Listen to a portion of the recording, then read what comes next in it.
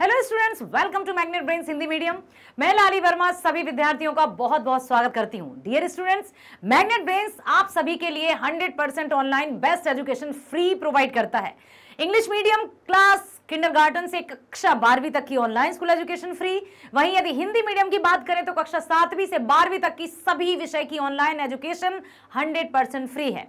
इतना ही नहीं, सभी प्रकार के प्रतियोगी परीक्षाओं के वीडियोस भी आपको प्रोवाइड किए जाते हैं, ताकि आप हर एक परीक्षा, जो भी आप तैयारी कर रहे हैं, जो भी परीक्षा देकर आप अपने लक्ष्य की तरफ़ बढ़ेंगे, उनके वीडियोस भी हैं हंड्रेड परसेंट फ्री साथ ही साथ, आप देखेंगे डिस्क्रिप्शन बॉक्स में लिंक दी गई है, जहाँ पर बुक्स और ई बुक्स भी अवेलेबल है।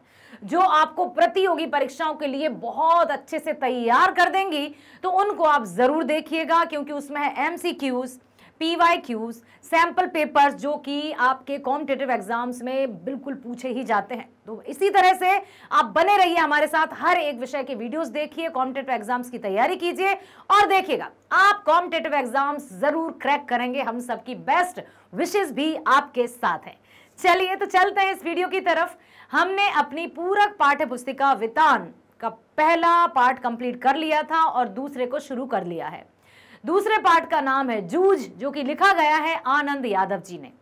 जूझ कहानी के माध्यम से लेखक ने अपने ही आत्मकथात्मक शैली में यह लिखा है कि उन्होंने अपने जीवन के संघर्ष को हम सबके साथ साझा किया है, सबके साथ शेयर किया है कि कितनी मुश्किलों और मशक्कतों के बाद उनमें पढ़ाई की और उनमें जो पढ़ने की लालसा थी, इच्छा थी, वो बचपन से ही थी, लेकिन परिस्थितियाँ ऐसी नहीं थी कि उनको सारी फैसिलिटीज़ प्राप्त हों।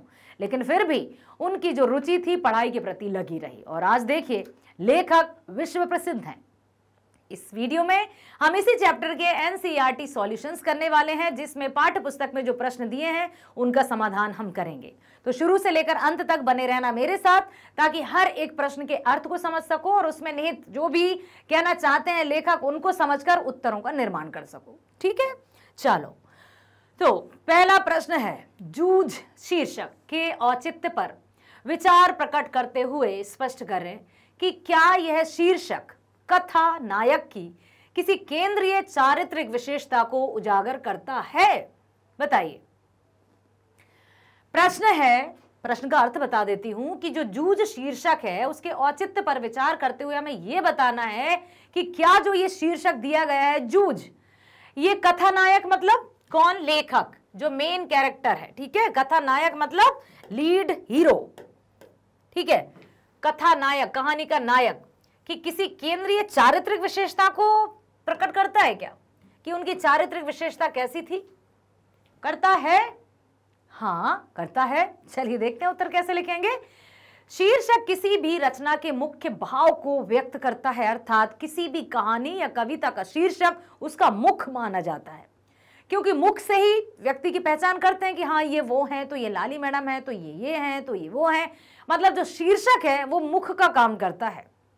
तो शीर्षक को पढ़कर अनुमान लगाया जा सकता है कि पूरी कहानी या पूरी कविता किस पर आधारित होगी। तो शीर्षक किसी भी रचना के मुख्य भाव को व्यक्त करता है। इस पाठ का शीर्षक जूझ, पूरे अध्याय में व्याप्त है। अर्थात पूरे पाठ में शामिल है। उसकी जूझ, उसका संघर्ष पूरी तरह से स्पष्ट है। जूझ का अर्थ है संघर्ष। इसमें कथानायक मतलब जो स्टोरी का हीरो है, आनंद, लेखक आनंद ने ही अपनी बात की है ना? नायक है, आनंद ने पाठशाला जाने के लिए संघर्ष किया। यह एक किशोर के देखे और भोगे हुए गांवी जीवन के खुरदुरे यथार्थ व परिवेश को विश्वसनीय ढंग से व्यक्त करता है, क्योंकि ये किसी की कहानी नहीं है जो उसमें कल्पनात्मकता होगी, या कुछ भी बढ़ा चढ़ाकर बात कर दी जाएगी। ये लेखक के अपने स्वयं के अनुभव हैं। तो उन्होंने अपने विश्वसनीय ढंग से व्यक्त किए हैं। इसके अतिरिक्त, इसके अलावा, आनंद की माँ भी अपने स्तर पर संघर्ष करती है। लेखक के संघर्ष में उसकी माँ, देसाई सरकार, मराठी और गणित के अध्यापक ने सहयोग दिया, अतः यह शीर्षक सर्वथा उपयुक्त है। ठीक है? माँ, बेचारी उपले या कंडे बेच बेच कर उसकी जो भी बेचारे को लगता था, ज़रूरत का सामान भूला कर देती थी। वहीं यदि बात करें देसाई सरकार की, जो गाँव के मुखिया थे, उन्होंने उसकी पढ़ाई में हेल्प की तो वो भी है। मराठी और गणित के अध्यापक, उन्होंने सहयोग दिया। मराठी अध्यापक ने उनको लिखने की कला से रूबरू कराया। कई तरह की पाठ्य पुस्तकें उनको दी, जिससे उनका शब्द भंडार बढ़ा और वो इस क्षेत्र में निपुण होते गए।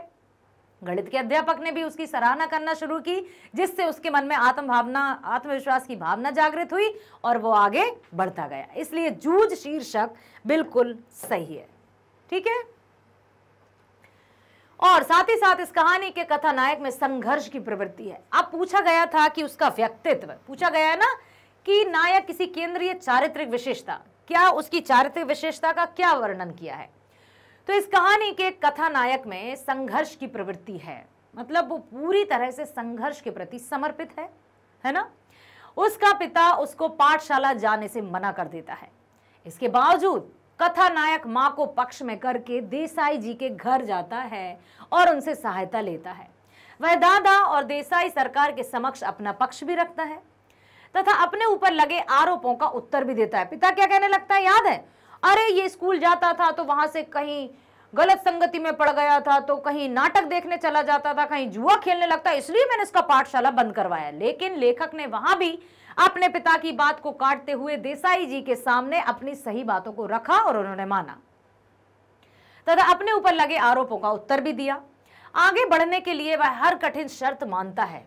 जब पढ़ने की अनुमति मिली तो पिता ने कितनी सारी बंदिशें लगाई, कितनी सारी शर्त उससे रखी कि तू जाएगा, लेकिन सुबह होते ही तुझे खेत जाना पड़ेगा और वहीं से तू पाठशाला जाएगा और पाठशाला से आते ही बस्ता रखकर फिर तू खेत में चला जाएगा। मवेशियों को चराएगा, ढोरों को चराने जाएगा, सब कुछ तू करेगा। लेखक ने कहा, ठीक है, मैं सब करूँगा, लेकिन मुझे पाठशाला जाना है। तो उसका संघर्ष जो है, इसमें दिखा है। पाठशाला में भी वह नए माहौल में ढलने, कविता रचने आदि के लिए संघर्ष करता है। बच्चे जो उसके, क्लास के बच्चे थे, वो उसको छेड़ते थे। तरीके से उसको चिढ़ाते थे, उसका मज़ाक बनाते थे, फिर भी उसने हार नहीं मानी। और डटा रहा अपनी मंजिल पर। इस प्रकार यह शीर्षक कथा नायक की केंद्रीय चारित्रिक विशेषता को भी उजागर करता है। ठीक है? ओके। अब है, स्वयं कविता रच लेने का आत्मविश्वास लेखक के मन में कैसे पैदा हुआ? लेखक को कब यह लगा कि अब मैं स्वयं कविता लिख सकता हूँ? पहले तो उसे जब वो ढोर चराने जाता था या खेत में जाता था तो उसको अकेलापन बड़ा मतलब ऐसा लगता था कि और क्योंकि उसको पढ़ने की इच्छा थी ना तो वो यही सोचता था कि काश मैं पढ़ पाता, काश मैं पढ़ पाता। लेकिन अब जब वो विद्यालय जाता है और अकेलापन उसे मिलता है तो वो बहुत खुश हो जाता है। क्यों? क्योंकि अकेलेपन में वो कविताएँ रच सकता है मतलब जो भी विचार आता है, वो तेज तेज गाकर उनकी प्रैक्टिस कर सकता है, नाच सकता है, झूम सकता है। हुँ? तो स्वरचित कविता लेने का जो विश्वास था, वो कैसे पैदा हुआ? लेखक की पाठशाला में मराठी भाषा के अध्यापक थे नाबा सोंदले, सोंदलगेकर। कविता के अच्छे रसिक और मर्मज्ञ थे। वे कक्षा में सास्वर कविता पाठ करते थे और लय तथा छंद, गति, यति, आरोह, अवरोह आदि का ज्ञान रखते थे। आरोह, अवरोह समझते हो? जैसे सारे गा, मा पाधा नी, सा, नी, धा, पा, मा, गा, रे, सा। सारे गा, मा पाधा नी, सा सा, नी, धा, पा, मा, गा, रे, सा। ये। सागा सागा सागा मा गा रे गा नी रे नी रे नी रे गा रे सागा सागा सा रे गा मा पा मा गा रे सा सा सा। तो ये सरगम होती है जिसमें उनको अच्छी खासी समझ थी। तो अब वो लेखक उनको देखकर बहुत प्रभावित हुआ और इससे पहले उसने कभी दूसरे लोग के जीव लगते थे। ऐसा लगता था कि कवि तो इस लोक के होते ही नहीं है, क्योंकि ऐसी रचनाएँ थोड़ी इस लोक का कोई व्यक्ति कर पाता है। लेकिन जब उसके ही विद्यालय के अध्यापक को उसने कविताएँ रचते देखा तो उसके मन में भी कुछ लिखने की उम्मीद जागी और बहुत प्रभावित हुआ। इससे पहले उसे कवि दूसरे लोग के जीव लगते थे। सोनल गेकर ने उसे अन्य कवियों के बारे में भी बताया। वे स्वयं भी कवि थे। इसके बाद आनंद को ये विश्वास हुआ कि कवि उसी की तरह आदमी ही होते हैं। एक बार उसने देखा कि उसके अध्यापक ने अपने घर की मालती लता पर ही कविता लिख दी। कवियों को लिखने के लिए कोई अलग से टॉपिक नहीं ढूंढना पड़ता है। वो तो एक पेन पर कविता लिख दें, हम पर कविता लिख दें, आप पर कविता लिख दें, हाथों पर कविता लिख दें, सब कुछ मतलब एक पत्ते पर कविता लिख दें। तो ये विचारों का ही है सब कुछ। ठीक है तो उन्होंने कविता लिख दी, तब उसे लगा कि वह अपने आसपास के दृश्यों पर कविता बना सकता है। और इस प्रकार उसके मन में स्वयं कविता लिखने का आत्मविश्वास जागा। अगला है, श्री सोंदलगेकर के अध्यापन की उन विशेषताओं को रेखांकित कीजिए, जिन्होंने कविता के प्रति लेखक के मन में रुचि जगाई। अब जो मराठी शिक्षक थे सोंदलगेकर जी, उनका हमें ये बताना है कि कौन सी विशेषताएँ थी जिससे लेखक के मन में कविता लिखने का इंटरेस्ट जागृत हुआ? हम्म? श्री सोंदलगेकर मराठी के अध्यापक थे। लेखक बताते हैं कि पढ़ाते समय वे स्वयं रम जाते थे। जो भी कहानी पढ़ाते थे, बिल्कुल उसी में खो जाते थे और उनके मुख से कहानियाँ कविताएँ बिल्कुल ध्यानपूर्वक सुनते थे, सब और पूरी तरह से लीन हो जाते थे। ठीक है? उनका कविता पढ़ाने का अंदाज बहुत अच्छा था। सुरीला गला, छंद की बढ़िया लय, ताल और उसके साथ ही रसिकता थी। उनके पास पुरानी, नई मराठी कविताओं के साथ साथ अनेक अनेक अंग्रेज़ी कविताएँ भी कंठस्थ थीं। मतलब याद थी उनको। पहले वे एक आध कविता गाकर सुनाते थे, फिर बैठे बैठे अभिनय के साथ कविता का भाव ग्रहण कराते थे। पहले कविता सुना ली, फिर उसका भाव कि इसके पीछे कवि क्या कहना चाहता था, फिर इमोशंस के साथ साथ एक्सप्रेशंस के साथ साथ वो उस कविता को सुनाते थे।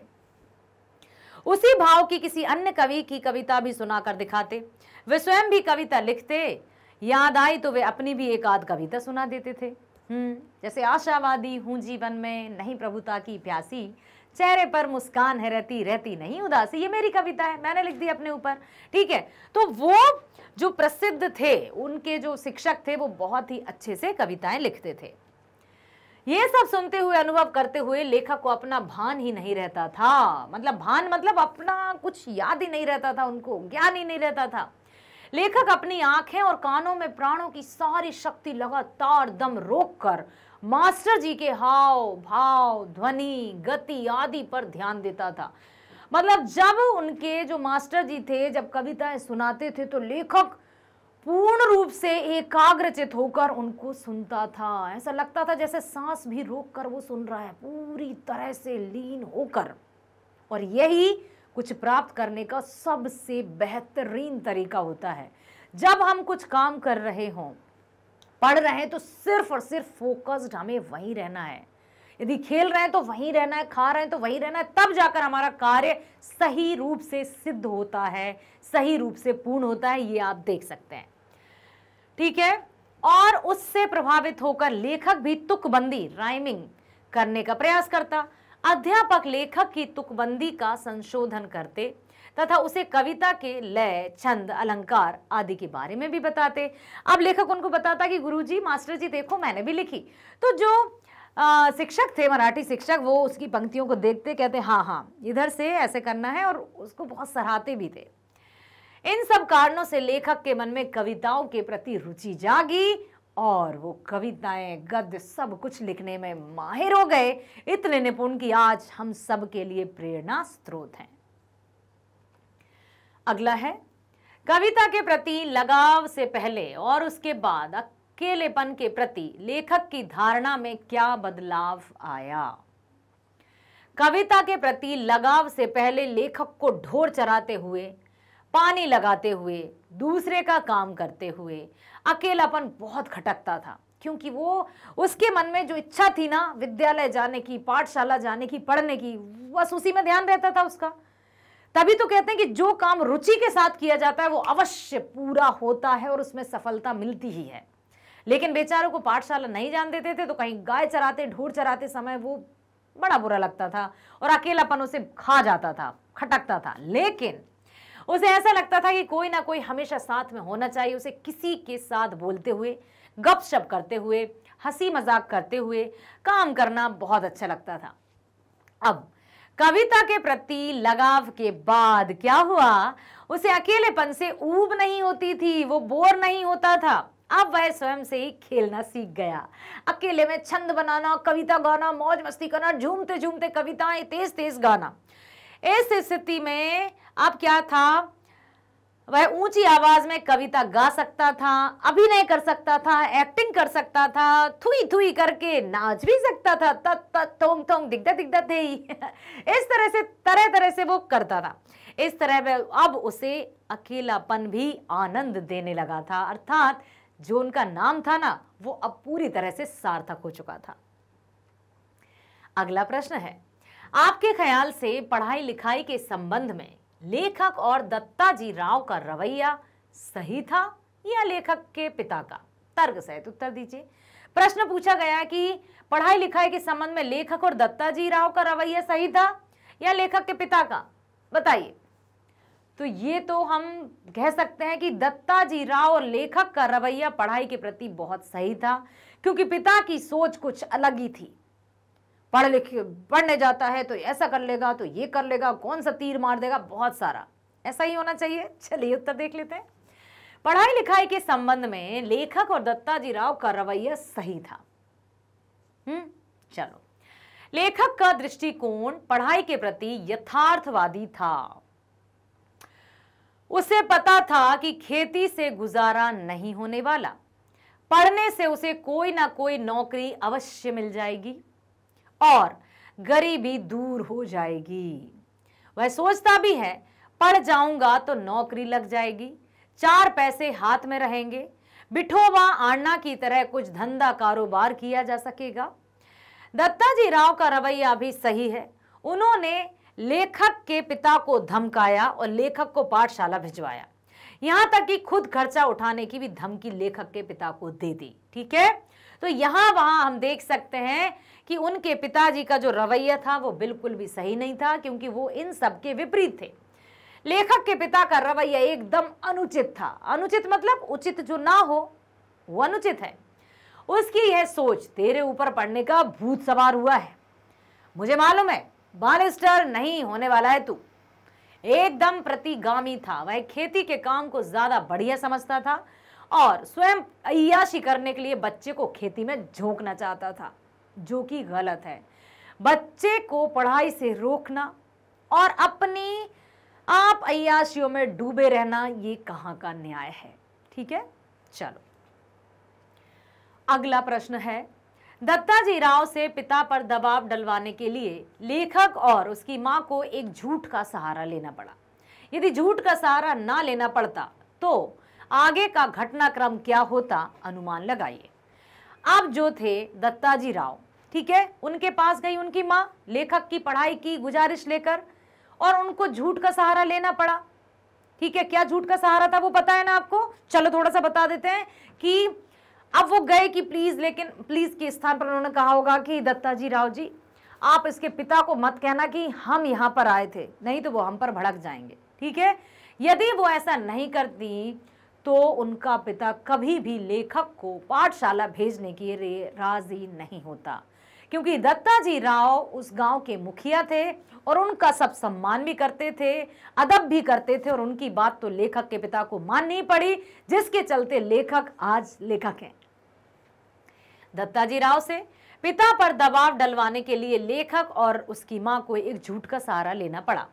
यदि दोनों ने झूठ का सहारा नहीं लिया होता तो दत्ताजी राव उसके पिता पर दबाव नहीं दे पाते। लेखक पिता द्वारा दिए गए काम ही करता और उसकी पढ़ाई लिखाई नहीं हो पाती। वह सारा जीवन खेती में लगा रहता। इस झूठ के बिना हमें यह प्रेरणादायक कहानी भी नहीं मिल पाती।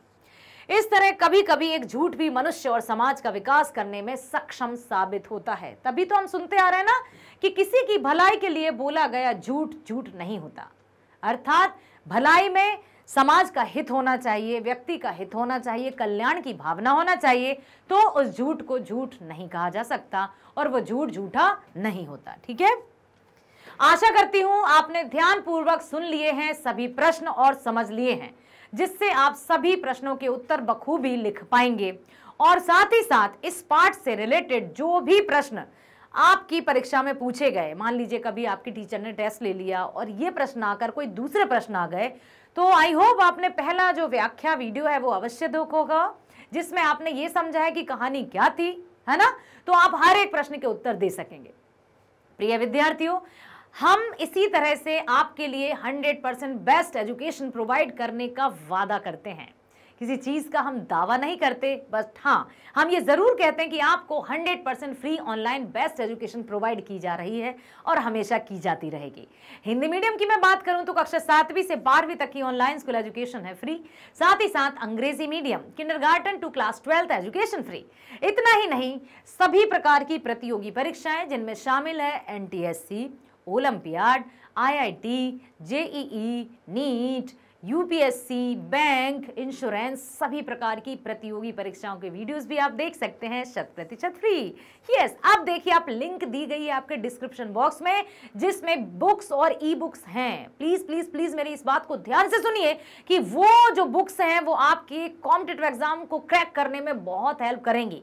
क्योंकि उनमें क्यूज हैं सैंपल पेपर्स हैं पीवाई क्यूज हैं, जो हंड्रेड एंड थाउज़ेंड परसेंट आपको हेल्प करेंगी। तो उन पर ध्यान दीजिए। और बने रहिए हमारे साथ। मिलते हैं नेक्स्ट वीडियो में। स्वस्थ रहिए, खुश रहिए, आगे बढ़िए। Bye thank you so much